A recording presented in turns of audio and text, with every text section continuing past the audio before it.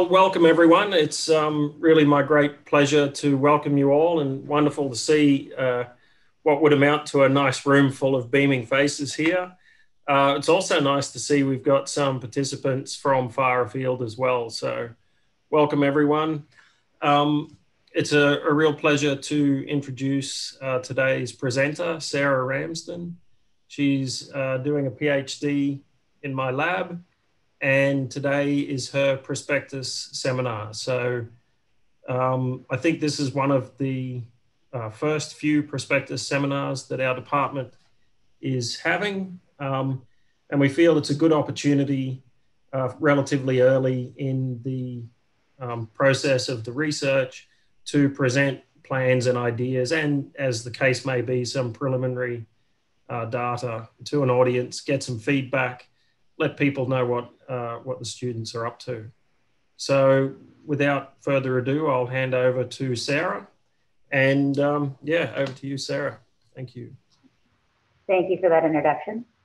Hi, all. I'm Sarah Ramsden. Uh, for those of you who don't know me, I'm in my fourth semester as a PhD student in Ronnie Baker's lab.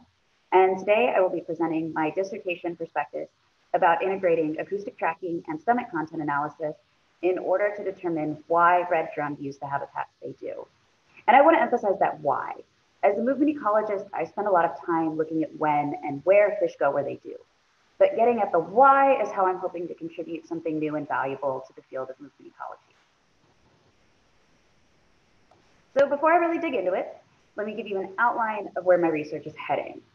I'm going to start by just grazing the surface of my literature review chapter to introduce the idea of how important it is for fisheries managers to know not only where critical fish habitats are located, but also to understand what fishery species are using those habitats for. And an effective way to get at this why is to combine acoustic telemetry, a technology that's all about where and when, with other well-known research techniques. then I'm going to spend most of this presentation talking about my research chapters. To begin my integrated analysis of trophic and movement ecology, I will first describe the general diet of red drum from along the Alabama coast, paying particular attention to how their diet changes as they age and grow. Then I will describe how red drum move through and select habitats in the restored seascape near Little Bay off the coast of Bayou La Batre. This site is unique in that it includes a substantial river, it includes a variety of shoreline protection structures, and it also includes a sheltered bay that's fed by a series of tidal tributaries. Again, I will be paying special attention to how red drum of different size classes use habitats differently over tidal, diel, and seasonal cycles. From this bay scale analysis of red drum movements, I have chosen a site to deploy a fine scale acoustic tracking array. This relatively new technology allows me to analyze red drum movement patterns at the microhabitat level, distinguishing the positions of individual fish with about one meter accuracy. I will then combine this detailed movement ecology with my understanding of red drum diet and digestion rates to assign functional values, for example, foraging or sheltering, to the habitats red drum use. And then finally, I will wrap up my presentation with a discussion of future directions that, with a little luck and time, my research could possibly take. So why research fish movement ecology? So the Sustainable Fisheries Act in 1996 is a 1996 addendum to the Magnuson-Stevenson Fishery Conservation and Management Act that calls for the long-term protection of fisheries habitats. It requires that fisheries management councils identify essential fish habitats, as well as minimize threats to those essential fish habitats, and take steps to conserve and enhance them. However, most essential fish habitat designations are too broadly defined, and they're defined at scales that are really too large to be useful to managers that have limited um, conservation resources and funds. For example, here on the left, colored in red are all the habitats considered essential to red drum. And on the right, highlighted in red, are all the habitats considered essential to commercial shrimp. So as you can see, these are huge areas and it would probably be impossible to protect them in their entirety. So how do we prioritize what to devote our limited financial resources to protecting? Well, that's where the why fish use the habitats they do comes in. Fishes use habitats for a variety of reasons. They use them for foraging, for sheltering, for spawning, as nursery habitats, and as just pass-through movement corridors. And the survival of a species depends on its ability to access all of those necessary habitat types. So accordingly, to effectively conserve fishery species and prioritize locations to protect, we must identify the functional values of their habitats so that we can ensure that habitats of each type are protected when we're divvying up our limited conservation and restoration resources.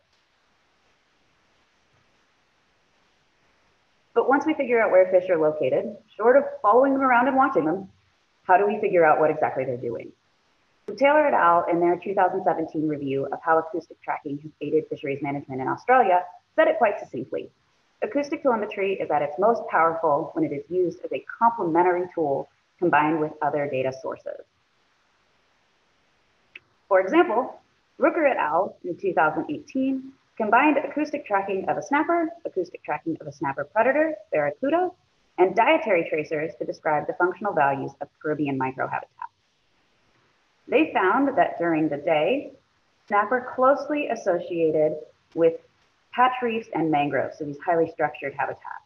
But at night, the snapper moved out of these structured habitats onto seagrass beds and sand flats during the night. And they went from selecting habitats that didn't overlap at all with their predators' uh, home range to selecting habitats that very much overlapped with their predators' home range.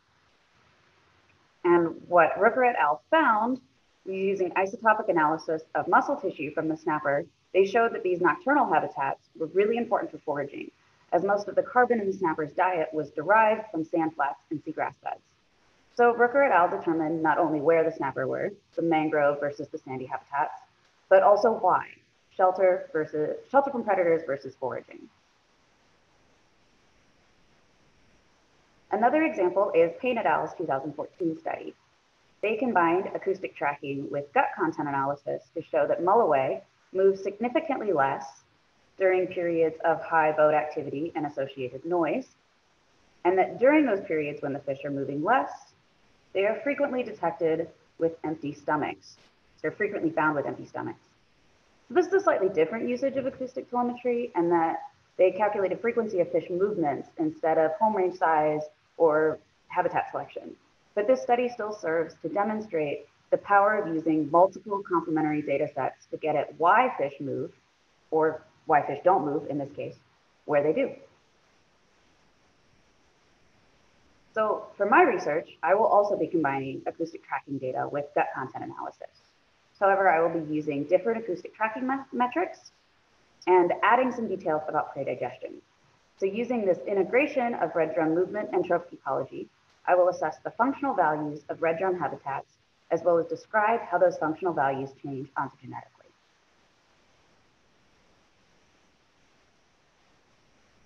So first, I need a robust red drum gut content data set, which brings me to the second chapter of my dissertation about ontogenetic shifts in red drum diet. The objective of this chapter is to quantify changes in diet that red drum exhibit as they age and grow. I must acknowledge that a great deal of work has already been done describing red drum diets and how they change through ontogeny. For example, this is a table from Overstreet and Heard's 1978 analysis of red drum diets showing how the frequency of occurrence of a variety of red drum prey items changes as red drum grow. And this is a figure from Scharf and Schlicht's 2000 analysis of red drum diet, showing how the average size of various red drum prey items changes as red drum grow. Which of course begs the question, why am I doing again work that has already apparently been done? Well, in order to assign functional values to red drum habitats in and around Little Bay, I need a site-specific understanding of their diet so that I can relate detailed patterns of prey consumption and digestion to specific habitat features and environmental conditions throughout my study region. My methods for this chapter are pretty standard for gut content analysis. I have stomachs collected from all over the Mobile Bay area, as indicated by all of these yellow push pins. Most of the stomachs were donated during the 2019 Alabama Deep Sea Fishing Rodeo, but I also have fish that have been don donated by Alabama's Marine Resources Division and by local anglers. Before dissecting the stomachs, I weigh them whole and compare stomach weight to total fish weight in order to calculate a gut fullness index. Then I open the stomachs and identify prey to the lowest taxonomic level. Where possible, I also measure the size of prey items, typically total length for fish and uh, fish and shrimp, and carapace width for crabs. And then finally, I assess the degree of digestion that prey items have been subject to, as per the methods of Baker 2006 and Buckland et al. 2017. And I'm going to discuss more about prey digestive states in chapter five. So thus far, I have processed 174 red drum guts from fish ranging in size from 77 millimeters total length to 949 millimeters total length. And most of those fish are slot sized or slightly smaller than slot. Of those 174 fish, 123 have had prey in their stomachs. And it appears that red drum are less likely to consume shrimp, and that's indicated by the white area on this stacked area chart, as they age and grow. In contrast, red drums seem to increase their likelihood of consuming fish, as indicated by the gold area on this stacked area chart as they age and grow. And then at the moment, based on my preliminary analysis, there's not much of a trend in red drum likelihood of consuming crabs as they age and grow. So this is obviously a pretty coarse preliminary analysis of my data.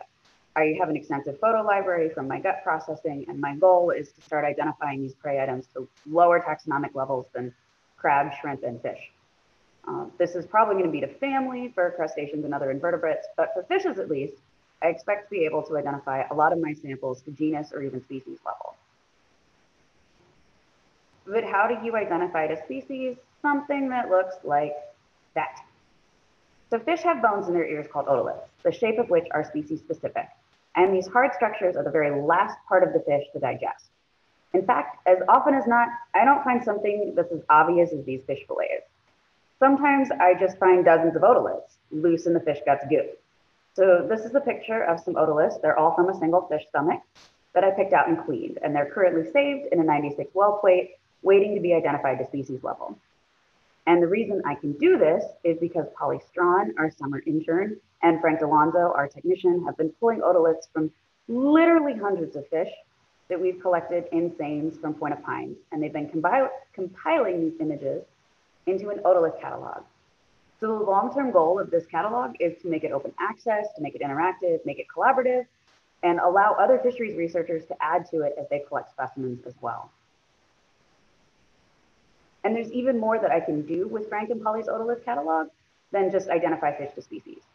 Turns out there's a really tight correlation between the weight of a fish's otolith and the fish's total length. So using the regressions that Frank and Polly have calculated, I will be able to weigh the otoliths that I find in my red drum stomachs and essentially recreate the fish that they came from. I'll be able to describe not only how the species of fish red drum eat changes as red drum grow, but also describe how the size of the fish prey red drum eat changes as red drum age and grow. Similar correlations have been found by Scharf and Schlicht in their 2000, in 2000 between the length of the interorbital notches of blue crabs and blue crab carapace width. In general, when I find digested crabs, they are either intact and look like crab, or they're in completely unidentifiable fragments of carapace and legs. But using Scharf and Schlicht's regression with the right identifiable bit of crab shell, I could in theory reconstruct the size of blue crabs consumed by red drum, and accordingly describe, in addition to their fish prey, how the size of red drum crab prey changes as red drum age and grow. Now, there are, of course, a lot of factors that are going to affect the size, the type, and the species of prey that I'm going to find in red drum stomachs. It's way more than just the size and the age of the red drum. I am going to have to examine the date and season of capture, as well as the capture location when modeling these um, trends. But the last step in this chapter is to analyze the final gut data set using a variety of statistical modeling tools that will identify natural size class breaks that result from substantial differences in diet. I will then look to see if these diet defined size classes coincide with movement pattern defined size classes, which are the focus of my next chapter. So for my third chapter, I am using acoustic telemetry to track red drum of various age classes as they move and select habitats in the restored seascape around Little Bay. The objective of this chapter, similar to the objective of chapter two, is to quantify ontogenetic changes in red drum tidal, diel, and seasonal habitat selection. So in 2010, the Alabama Department of Natural Resources and Conservation received funding from NOAA to rebuild a 1.6 kilometer peninsula in Mississippi Sound west of Mobile Bay near Bayou La Batre. The Little Bay Peninsula was selected because it protects an extremely productive salt marsh estuary, Little Bay. So 100,000 cubic meters of sand were dredged to fill a gap that had opened in the peninsula. Over 100,000 plants were planted to stabilize the new sediment, and concrete breakwater structures were built to protect the peninsula from wave action. In total, $3 million were spent to restore Little Bay Peninsula and the salt marsh habitat it protects. So because of this great expense, it's important that we work to understand how this project is benefiting fisheries species. So we deployed a bay scale tracking array of 14 Vemco acoustic receivers this past September. So those are indicated by the white pins on the map. Receivers were placed to monitor various habitat types within this region. For example, these concrete breakwater pyramids protecting Little Bay Peninsula, the tributaries that feed into Little Bay, Little River, which feeds into the site to the west, and then these newly installed concrete breakwater pyramids, they look exactly the same as the ones on Little Bay Peninsula that have just been installed on Point of Pines Peninsula. So this is a pretty challenging environment in which to deploy an acoustic tracking array. It becomes extremely shallow during low tides, especially during winter, and it's noisy with boat traffic and the hard structures throughout have the potential to really interfere with the propagation of our acoustic tracking signals. But despite these challenges, the array does seem to be working really well, and we've rarely been unsure of the general locations of our tagged fish. So our tagged fish are surgically implanted with either a Vemco V7-2L or V13-1L acoustic transmitter tag. So the way this works is acoustic, trans, uh, acoustic tracking tags emit a unique Morse code-like signal. And in our case, they're emitting it at a random interval of between 200 and 300 seconds. So that's three to five minutes. And when a tagged fish swims within range of an acoustic receiver, the receiver records the fish's identification number, as well as the date and the time of that fish's detection. To date, we have tagged 22 red drums, ranging in size from 26 to 65 centimeters total length, and weighing between 0.14 and 2.5 kilograms, with a focus on fish that are smaller than slot size, so that's between 28 and 38 centimeters total length. Since the receivers were last downloaded at the end of January, we have collected a total of 113,671 detections, with the most frequently detected red drum being recorded 32,983 times, and the least frequently detected red drum being reported only 107 times. So based on my preliminary data analysis, it appears that red drum spend an increasing amount of time in Little River as compared to in Little Bay or its tributaries or along Point of Pine as fall progresses to winter.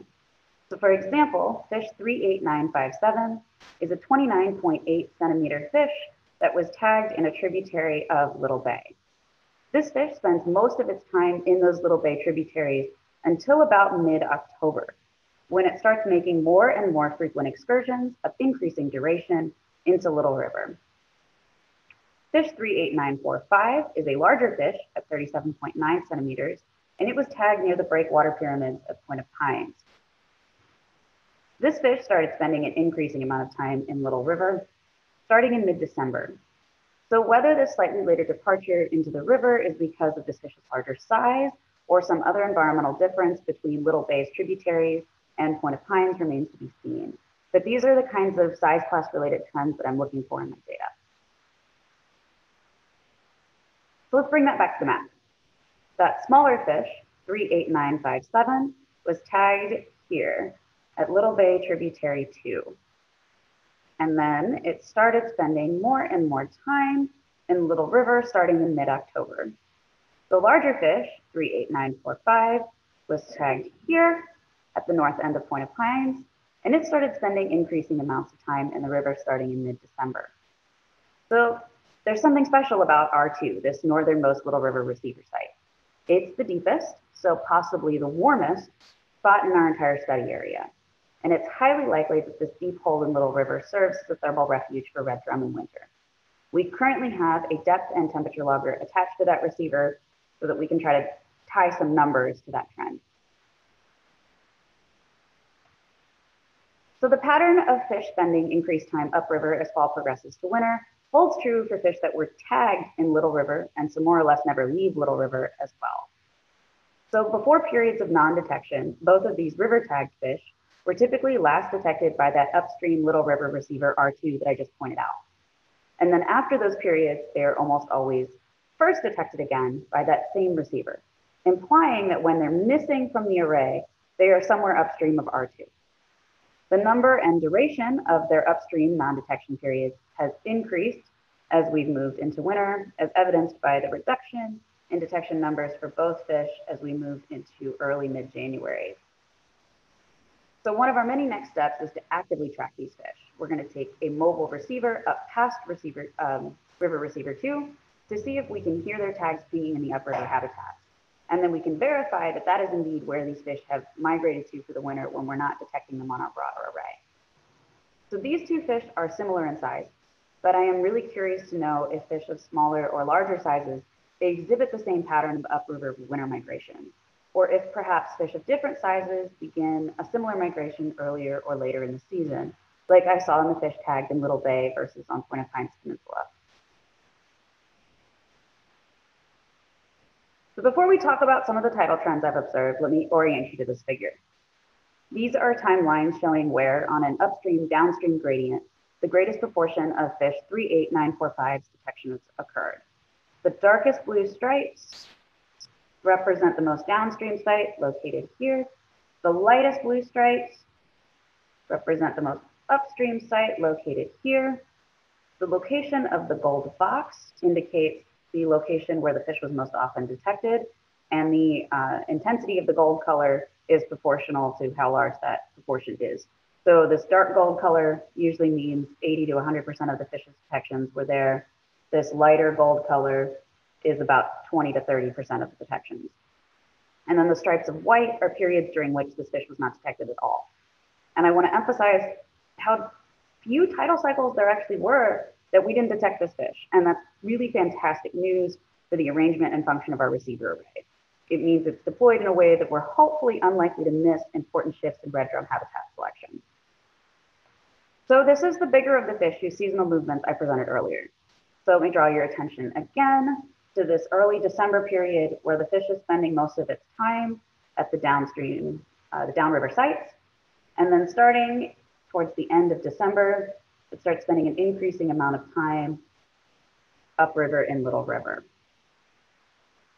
So this fish and a few others also exhibited an interesting tidal movement pattern. Periods of rising tide are indicated on these timelines with black squares, and periods of falling tide are denoted with gray squares. And red drum appear to move against tidal currents, moving upriver on falling tides and back downriver on rising tides. So we suspect these tidal migrations are related to foraging for prey that is forced out of the marsh vegetation by falling tides. And we have plans to use red drum digestion rates and some depth loggers to confirm this hypothesis.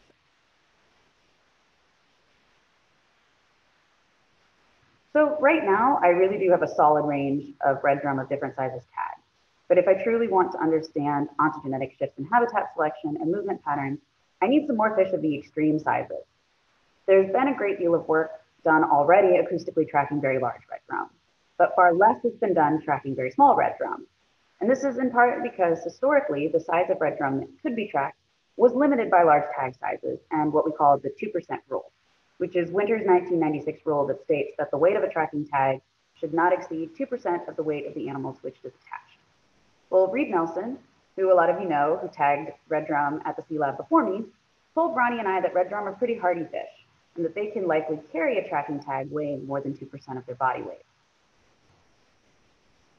So in 2019, I set out to test just that.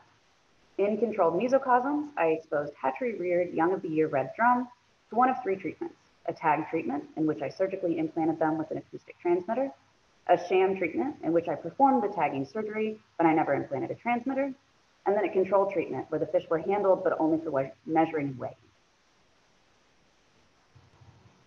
And what we found were that the tagged and sham fish, so here depicted in the solid green and the green stripes, initially grew slower in the first 10 days.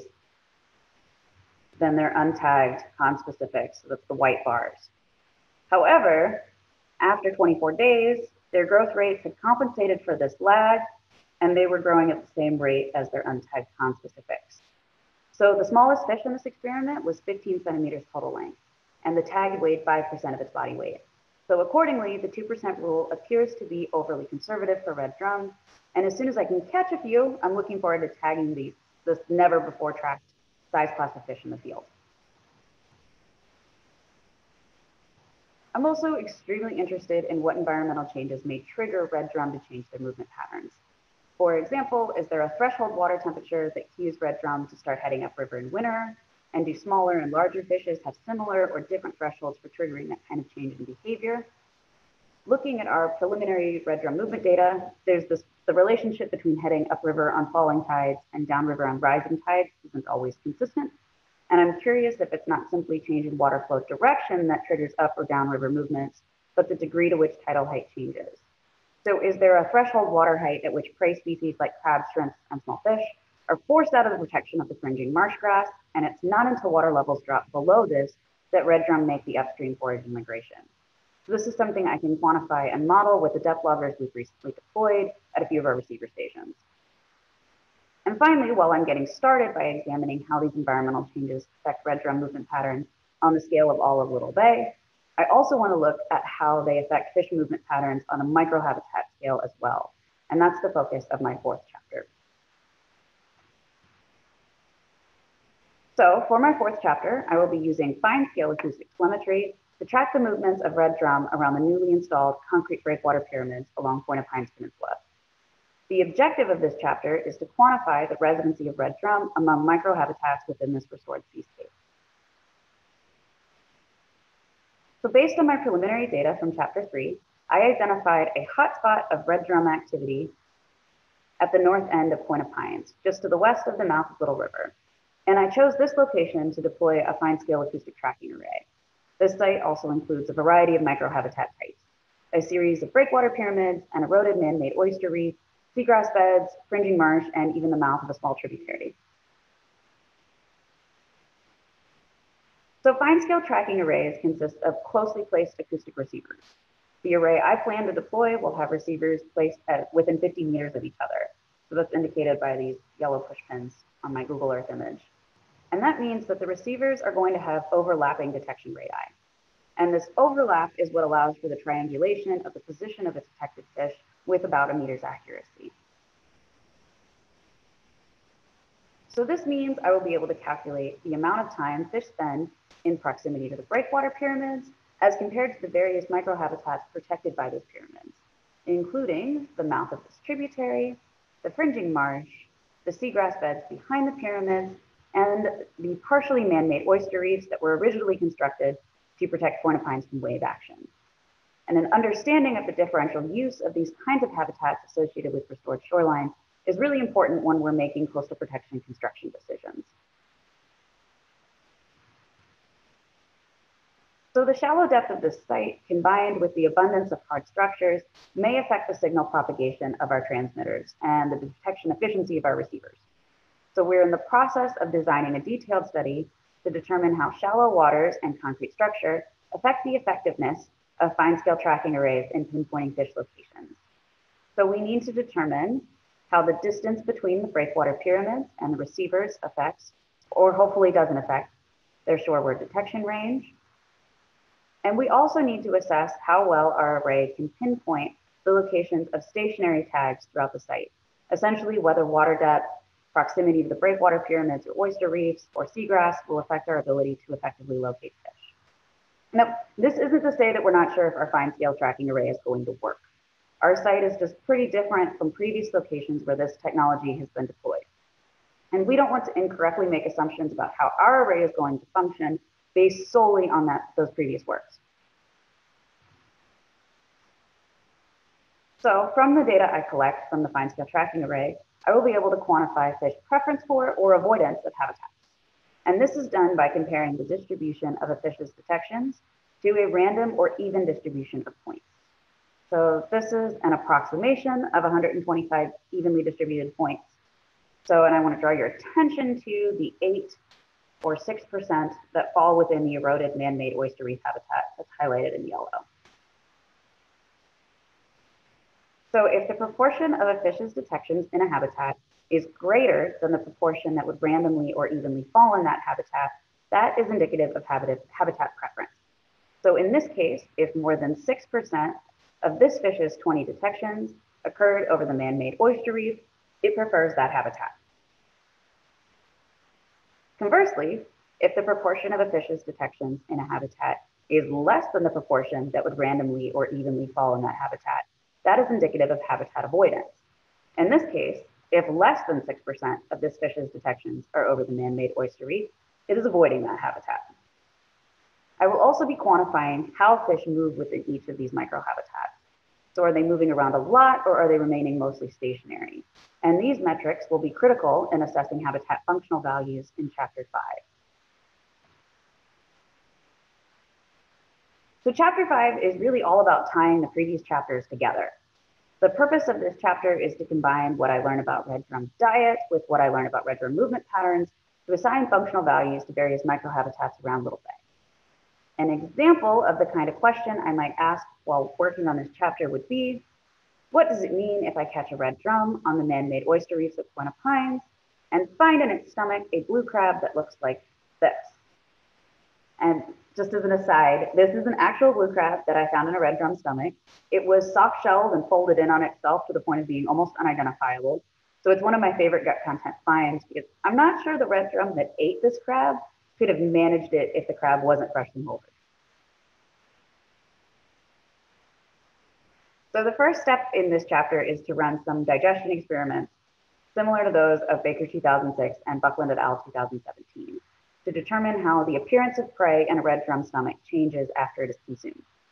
So after a period of acclimation and fasting, we will feed red drum housed in individual tanks a known prey item, most likely a blue crab, Penaeid shrimp, or a Clupeid, as these are the species I find most often in red drum stomachs. And then after they have been fed, we will cull the red drum at regular intervals in order to dissect their stomachs and examine the digestive appearance of their prey. So pictured here are some examples from Buckland et al. of fish prey in increasing states of digestion. So in this first panel, we have a fish that's clearly undergone some digestion, but its head and tail are still distinguishable from each other. In this second panel, We've got lots of bits of tissue and bone that are identifiable as belonging to a fish, but we can no longer tell the difference between where the head of the fish was and the tail of the fish was. And in this third panel, all that remains of the fish that was eaten are its otoliths. So the next step in my integration chapter is to collect red drum from the various microhabitats associated with the Little Bay region. So this includes the microhabitats associated with point of pines associated with the point of pines protection structures that I discussed in chapter four, but it also includes the tributaries versus the main body of Little Bay. And we definitely want to compare fish collected from upstream Little River to fish collected from downstream Little River at various tidal stages. And then we will dissect the stomachs of the fish we collect. And based on the findings from our digestion rate experiments, we will be able to calculate the time since those fish consumed prey. So by assessing the typical movement patterns of fish in a given habitat, as well as the typical digestive state of prey from fish collected in that same habitat, we will be able to assign a functional value to that habitat, such as foraging or sheltering or a movement corridor. So for example, if fish are typically stationary in a habitat and their stomachs and the stomachs from fish collected from that habitat are typically empty, we would probably call that habitat a sheltering habitat. Conversely, if red drum are frequently moving about in a habitat, and when we collect them, their stomachs are full of fresh prey, we would call that habitat a foraging habitat. And lastly, we suspect that the daily tidal migrations we've observed a few fish making in Little River are foraging migrations. So with an understanding of prey digestion rates, we will be able to examine the stomach contents of red drum collected upstream and downstream in Little River during different tidal stages and confirm in what locations and at what tidal stages those fish are foraging. And finally, I want to emphasize that we're not limiting our acoustic tracking or gut content analysis to fish of any specific size class. So we will be able to describe how the functional values of these various habitats change as the fish age and grow.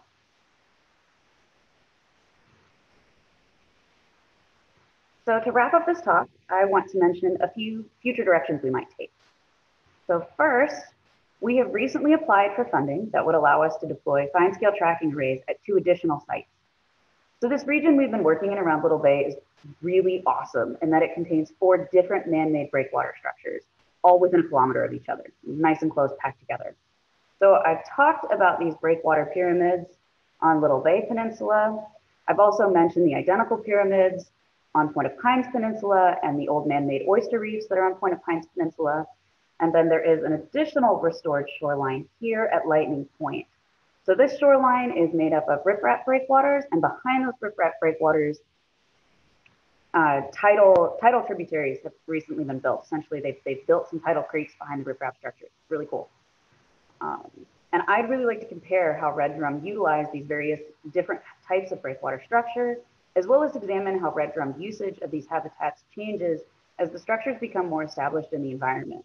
So these Point of Pines, sorry, these Little Bay Peninsula pyramids have been installed since 2010, whereas a lot of the other structures in this habitat have only been installed in the last year. And it'll be really interesting to see how red drum movements around them change as time progresses. I would also like to tag some additional important fishery species like sheepshead, pictured here, speckled sea trout, and flounder. I would like to add a trophic level to my fine scale tracking. So similar to Rooker et al.'s work with snapper and barracuda that I mentioned in my introduction, I want to look at how the movements of a red drum predator, most likely bull sharks, affect the habitat selection and movements of red drum.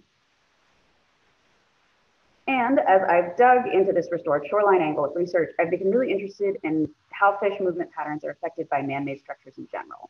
So just around the corner from my Little Bay study site is Auburn's off-bottom oyster farm where I would like to deploy another fine scale acoustic array to track the movements of various fishery species around those structures.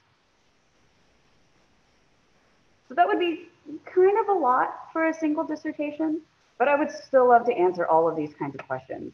The insights we could gather from these additional studies could be really valuable to fisheries conservation and management, especially when we're making coastal restoration and protection decisions. And with that, I would like to thank the folks without whom this work wouldn't have been possible. I want to give a special thanks to my advisor, Ronnie Baker, as well as my prospective committee members, Mark, Mike, and Sean. I want to acknowledge my funding sources, Mississippi Alabama Sea Grant and the USA Department of Marine Science, as well as the Bullard Fund. Grand Bay NERR loaned us our first 14 acoustic receivers, without which we couldn't have gotten this research started. And Sean Powers Fishery Ecology Lab has been loaning us various bits of equipment and technology while we work on acquiring our own, for which I'm hugely grateful. Alabama Marine Resource Division, as well as several recreational fishers from the Sea Lab, have been donating me red drum for gut content analysis, which I really appreciate because I can't seem to catch a single fish myself. I couldn't have gotten any of this work done without tech services help along the way or without the support of my fellow graduate students, especially those in the Baker Lab. And finally, I have to give a huge thanks to Frank Alonso, who has been my patient right-hand man since he joined our lab He's done everything from help me download receivers to catalog, uh, to catch fish, to dragging the boat out of the mud when the tide didn't rise like it was supposed to. Um, really, he's just a boost of morale and an excellent source of ideas. Um, and he's my technician, you can't have him. and with that, I would love to take any questions.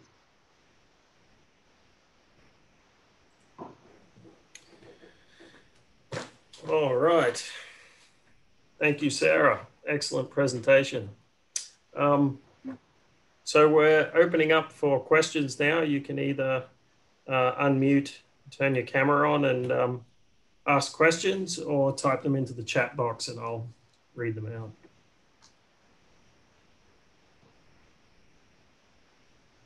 Oh, there's chat stuff. Hey, Sarah, this is Dottie. You can't see me. I turned my camera off. Uh, I got too much going on in the background.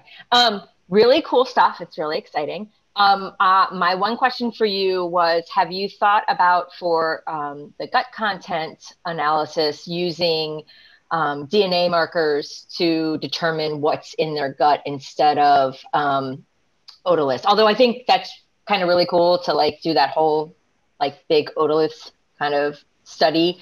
Um, have you thought about using DNA instead, essentially? I'm familiar with, well, vaguely familiar with stable isotopes and uh, DNA barcoding for looking at gut content. Right now, that's not really something we're considering.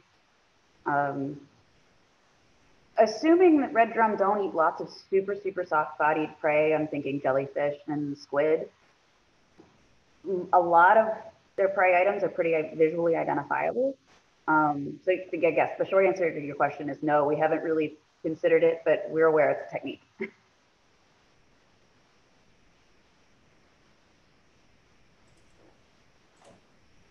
Okay, so we have a, a question in the chat box uh, from Carl saying, nice work, Sarah. What do you think's driving changes in diet with ontogeny? Um, is it the, the relative sizes? Is it locational habitat changes or other behaviors associated with anti-predation? So if I had to guess, um, I would say it's probably a little bit of gape size so basically change, change in predator size makes it easier for larger red drum to eat larger prey and larger red drums swim a little faster. So we're more likely to be able to catch fish prey, which is more nutritionally valuable than say shrimp prey. Um, we're not sure yet if it's going to have to, if it has anything to do with ontogenetic habitat changes. That's part of the next sort of modeling step is to see if that, you know, decrease in shrimp consumption, increase in fish consumption coincides somehow with a, a change in habitat over the same change in size.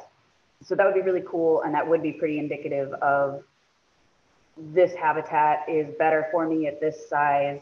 And it happens to have this prey item that's more abundant. Um, but right now, off the top of my head, if I had to tell you, I'd say it has to do with the red drum are getting bigger, their gape is getting bigger, they're becoming stronger swimmers. And so they can take on stronger swimming, bigger fish prey that's more nutritionally efficient.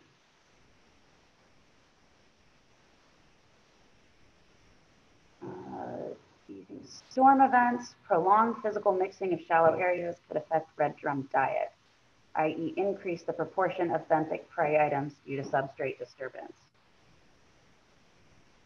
That sounds, sorry, that was a question from Blair. Um, so it's, do you think storm events are going to increase red, or change red drum diet? I don't see any reason why it wouldn't.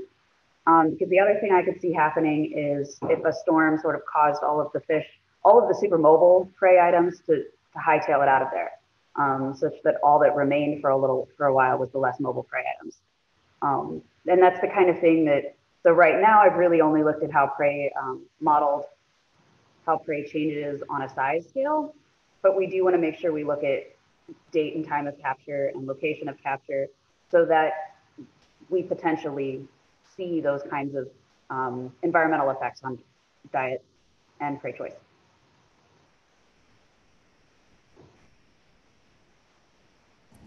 Hey, Sarah, I really like your presentation. And I found it uh, particularly interesting that you're going to be tagging these uh, smaller uh, size classes of red drum. And in your experiment, you said that you measured the growth rate and how much they changed in growth over time when you tagged them. I was wondering if you looked at any uh, behavioral observations. I would be kind of interested to know if the greater weight causes them to have a dietary shift if they go for a slower prey species when they have more weight on them, or if that would change their ability to go against the tidal current, or if you've looked at behavior at all or have any plans to. Um, we would love to. It so I did these experiments in the, the Sea Lab mesocosms with Mobile Bay water. And I mm-hmm. stuck a camera in there and saw muddy, turbid water. Um, surprise. Uh, so that's a, a, really awesome question. And if we can get another set of young of year fish, uh, a, a, big enough set of young of year fish again, I would like to run the experiment in the indoor mesocosms so that I can watch them because I've heard I've read a little bit of both. I've read studies that suggest that too big a tag causes the fish to be more stationary just because they're dragging around all that weight. But I've also read that it may cause fish to move around more um, because they're having trouble compensating for buoyancy differences. So either one of those things could cause a, a, decreased growth rate. They're either not foraging because they're weighed down by the tag and they're struggling, or they're having to burn a whole bunch of extra calories to compensate buoyantly for the tag um, being in them. So the, those are the two kind of options as to why I think that initial uh, lag in growth happened. But in, in muddy Mobile Bay water, I wasn't able to observe it. So I, I would, I'd really like to run it um, with nice crystal clear water. Yeah, solid question. Thanks. So I'm not really concerned about changes in growth rate at all. I'm more interested in whether it would have something go from uh, something sessile The more fish can still compensate for their uh, decrease in growth rate because they're not able to chase down a fast fish. They just eat a lot of more slow prey. And so exhibit the same growth rate, but are completely switching their diet to a different food source. And that may cause them to change their location. It is one of the things that I'd be yeah, wondering about. Um, so when I was feeding them in the mesocosms, I, I they got frozen chopped up squid, so there was no no choice. Um, that would be something worth looking at. We in the acoustic tracking studies, we kind of operate under the assumption that the the carrying around the tag doesn't cause the fish to act differently from an untagged conspecific. And that's a big assumption, but we we do tend to make it. But I can see how in a mesocosm setting, you could add different live prey items to the tank and see if a tagged fish versus an untagged fish chose a different prey item. And that would be, if I'm already got, if I've already got the mesocosm set up where I can see the fish, that would definitely be worth doing. Yeah. yeah. Just something to consider in the future. But yeah. I love your presentation. It's really great. Thank you. I, I just chime in here too with a point. Uh, Sarah, correct me if I'm wrong. Um, even the, the heaviest tag to fish ratio in your experiment we're still talking 5% of the total body weight of the fish. Is that correct? That's correct. Yes. It was, I think, 5.6 and it was a 15 centimeter total length fish. So, yeah. So, so just to put a bit of context around the, the idea of lugging around a heavy tag, it's the difference between 2% and 5%. I mean, obviously, it's double the relative weight, but it's still only 5% of the total weight of the fish carrying it. Yeah. There's some good questions. Anyone else got questions?